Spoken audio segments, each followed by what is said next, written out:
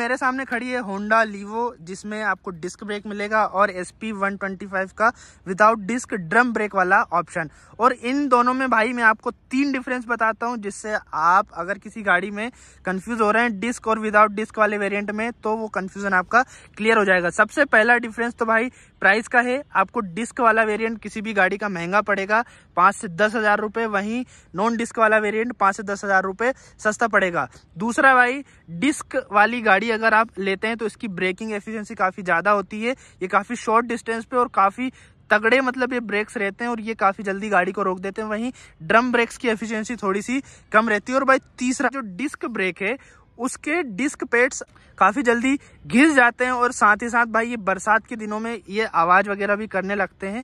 वहीं drum brake के brake shoes जो हैं ड्रम के अंदर कवर्ड रहते हैं तो उनमें ज़्यादा घिसावट या पानी वगैरह घुसने की समस्या नहीं होती है।